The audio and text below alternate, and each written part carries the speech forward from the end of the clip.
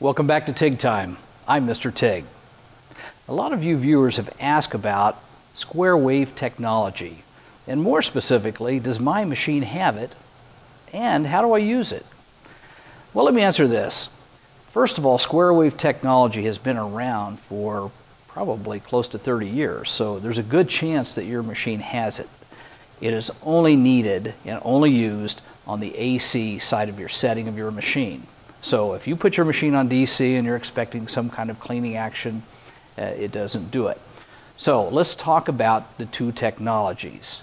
If your machine says something like square wave, cyber wave, anything that has the term wave in it, you probably have square wave technology in your machine. If it doesn't, you have what's called sinusoidal. And sinusoidal is a wave pattern that will give you a little bit of cleaning. And you can see by this chart, this is a sinusoidal wave. You'll get a nanosecond of cleaning and you'll see a nanosecond of heat going into the part. Now, the old technology used to have a cliche that said in welding aluminum, you had to clean it, clean it, and clean it.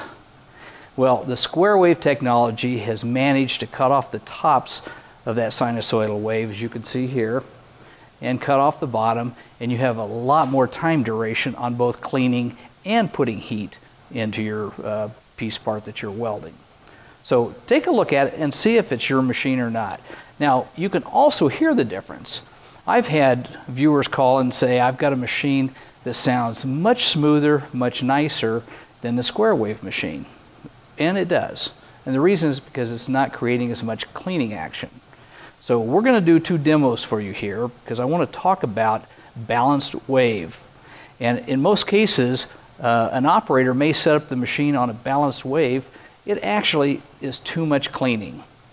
Now my preference is to start your machine on 70% negative. And this machine has that setting on it. We'll show you how to use it. So that's 70% negative, 30% positive. If you accidentally set it up on 50-50 or a balanced wave, you're probably deteriorating your tungsten and it's disappearing up into your torch. So let me get my gear on and let's go through those two settings. Okay, I've put on our clear Pyrex jumbo gas lens just for viewing purposes. It's easier to film what's going on. So I've got the machine set at a balanced wave or 50-50. And I'm going to initiate the arc, and I want you to watch the cleaning action taking place.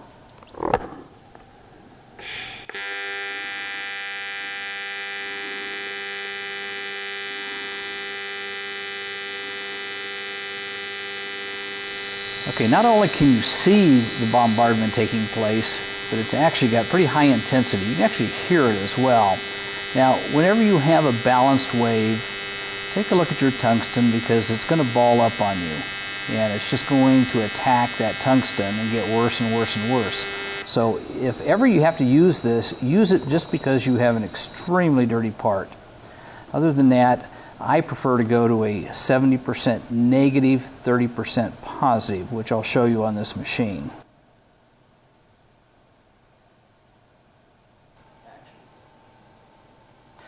Okay, I've now changed the tungsten back to a freshly ground pointed tungsten. It's 2% thoriated. I reset the machine. I now have 70% negative, 30% positive.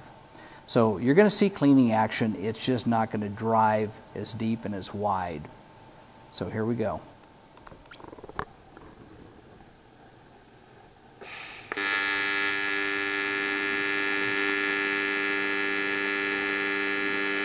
You can see it's, it's a much narrower cleaning action and which is okay because that's about the width that I'm going to weld.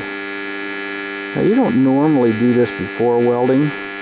I'm just showing you this because this is what happens during welding. Okay, and as you can notice, the cleaning action still works good, but it's narrower. Now what that allows you to do is to get deeper penetration into the aluminum. Well, this is just an exercise to show you how your machine can clean your aluminum for you. You don't necessarily have to do the cleaning action and then do the welding, but I just want to show you the difference. Now, we have several links in the description below It'll show you different techniques and methods of welding aluminum, and we're going to continue to have more because there's an awful lot of information that you need to have.